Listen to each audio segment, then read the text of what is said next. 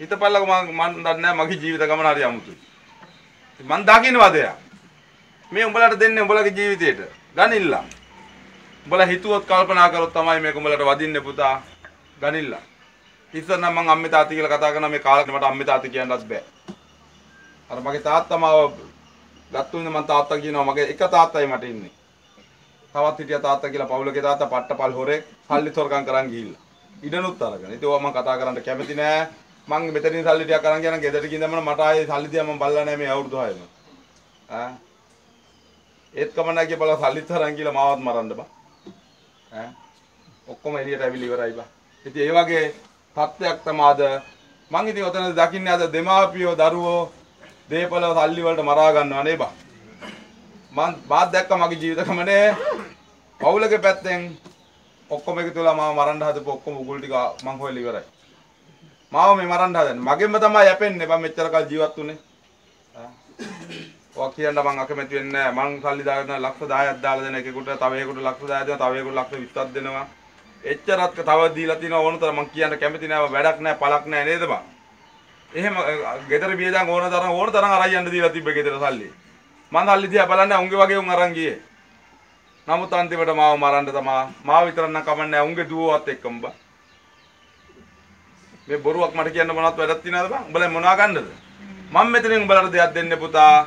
උඹලගේ ජීවිත ගමන හදාගන්න. නැත්නම් මට වැඩක් නැහැ කියලා මාව මරන්න අදියේ නෙමෙයි බං. වෙදකම පටවන් ගත්තු දා ඉඳන් මාව මරන්න උත්සාහ කරනවා. පැත්තේ හැම පැත්තෙම මාව මරන්න තමයි බලන්නේ. බැලුම්ගල කියලා මාද්දකින් දානවා බැලුම්ගලට පජාත වෙනවා. බැලුම්ගල ඊට පස්සේ මෙහෙ වෙනවා වෙනම පාතාලක වෙන්න පුළුවන් කට්ටියක් දැම්මලා මාව මරන්න. කෝල් එනවා හෙට වෙදකම නවත්තම මරනවා කියලා. ඉතින් මාත්‍ය වරෙන් මාව මරන මං එළියේ ඉන්නේ. ගෙදර එළියේ තමම වැඩිපුර ඉන්නේ පාන්දර දෙක තුනක එළියේ ඉන්නේ ඇවිල්ලා මරලා ඵලයල්ලා.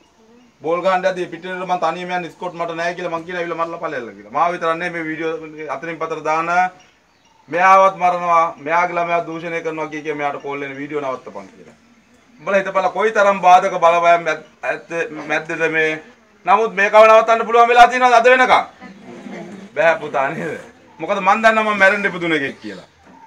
ආ උතුරු යුද බිමට ඉල්ලන් ගිය එකෙක් යුද බිමේ අවුරුදු 14ක් ඉල්ලගෙන හිටපු එකෙක් පය තියද්දි යුද බිමට මගේ ජීවිතේ මව් පොළොවට දන් දීපු එකෙක්. ආයේ මට වැඩක් තියෙනවද ජීවිතේ? ඈ පුළුවන් මෙතනත් ඇති ආගෙන ඉන්නවා මන් දන්නවා. ඇවිල්ලා මගේ වහන් ඉන්නේ. දේශපාලුවන්ට බයිනවා එදා ඉඳන්. උනුත් බලනවා.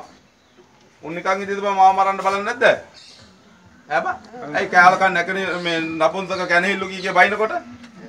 ඈ මයින්ද වේවා රනිල් වේවා මෛත්‍රී කිය ඈ එදා ඉඳන් මම දැන් අවුරුදු දෙක තුනක් මෙතන කියනවනේ බා. මට මතක එකපාරක් රනිල්ගේ ලේකම් කෙනෙක් කෙනවා මම මෙතන කෑ ගහනවා බෙදකම් කරගන්නෙත් නැතුව යනවා. ඔය කියන ලොකු ලොකු අයියලා කට්ටිය එන දවස්වල මට එනවා පණිවිඩ අනිත් පැත්තෙන් ආන් ආවලා ඇවිල්ලා ආවලා ඇවිල්ලා කතා කරන්න එපා කියලා. ඉතින් මේකයි කට නවත්තන්න බැරි වෙලා තියෙනවා අපා.